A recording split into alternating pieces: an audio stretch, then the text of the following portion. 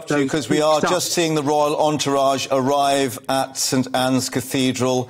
Uh, that is another BMW that is with the royal pennant there. So uh, clearly, this is the right car, and uh, we'll just witness this event as the King and Queen Consort arrive for this uh, moment of reflection. It is a service of reflection here at Belfast Cathedral, the Cathedral Church of St Anne. Huge cheers for the King as he arrives at the cathedral for the service.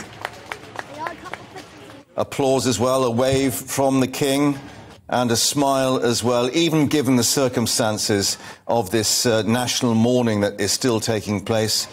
Uh, the King taking time to meet and greet uh, the officials outside the steps of the cathedral. With his wife, the Queen Consort, Camilla, also uh, chatting to people who we assume are going to play a part in today's service.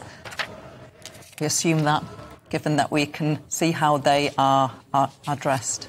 Yes, we understand that they will be escorted through this west door to their seats as the choir sings the Introit uh, Confortare.